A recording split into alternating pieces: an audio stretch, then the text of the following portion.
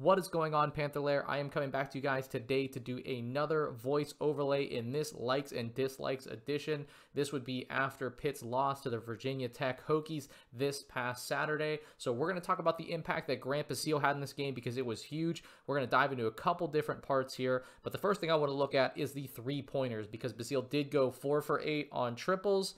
Uh, this was the fourth straight game in which he registered 20 or more points. He even fouled out of this game after playing 30 minutes, but he had a big impact here, and let's take a look at how that happened.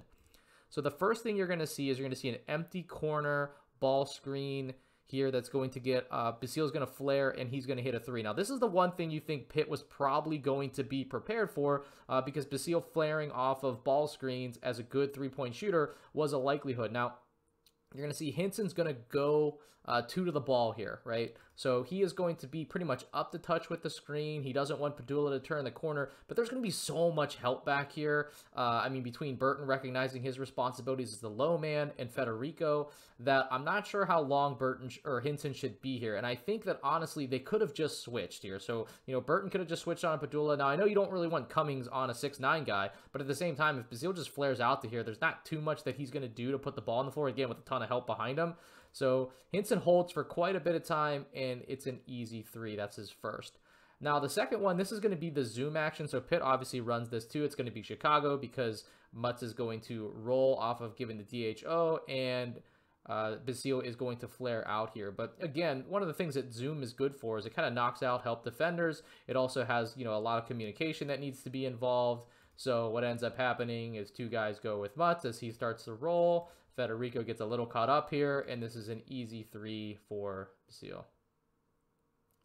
Now the third one, and this is the one where it starts to get a little bit more complex, and we're going to dive into this in the next voice overlay, is that one of the things that Pitt struggled with is that Basile wasn't always just involved in direct ball screening actions. You saw that in Chicago in Zoom, but that's a little bit more recognizable. Here, this is going to be a pin down. He's going to set for Hunter Cattoor, and then he's going to flare out here into this corner. Now, Cattoor is going to come up here, and he's going to kind of just immediately ghost flare out here. So he's going to kind of look like he's going to set a screen. He's going to ghost this, and then just flare out here, and this is going to create a double gap for Pedulla to drive into. Now, Santos and Federiko here, and a lot's going to be on them as Federiko comes down. So play this a little bit more. You'll see here comes that immediate ghost screen. He's going to flare out here. Now, what could happen as he goes to the corner is Federiko is the best rim protector on the team. He should just bump Santos, who's a pretty good defender in general, over into the corner. Instead, they miscommunicate, and what happens as Pedulla starts to drive is Santos is saying Federiko needs to go out here, stay with his assignment. Santos is going to step in, but he is getting pinned in here, and this ends up being a corner three to end the half.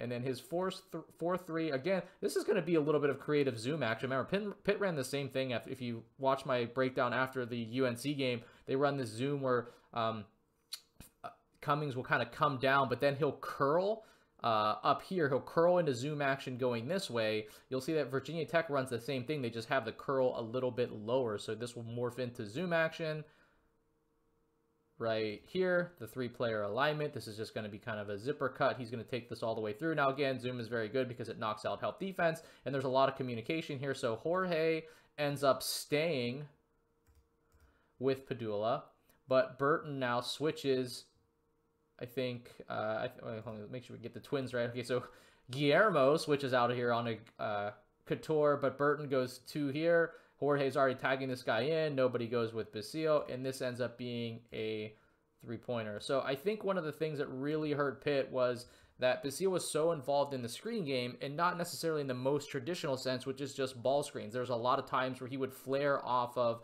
what would become a ball screen or an off ball screen. He would do all kinds of things like that, and his influence was more than just his own shot, uh, and you're going to see that here in the next video.